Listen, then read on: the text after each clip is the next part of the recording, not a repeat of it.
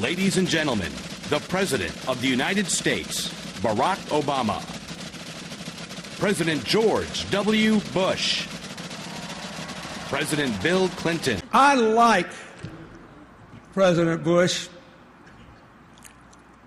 Even we do a lot of speeches together, and I like it when we have disagreements.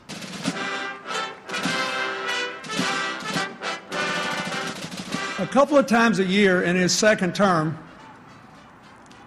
George Bush would call me just to talk politics.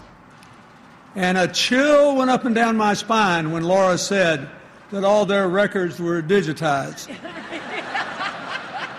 Dear God, I hope there's no record of those conversations in this vast and beautiful building. And what I know is true about President Bush, and I hope my successor will say about me, is that we love this country and we do our best.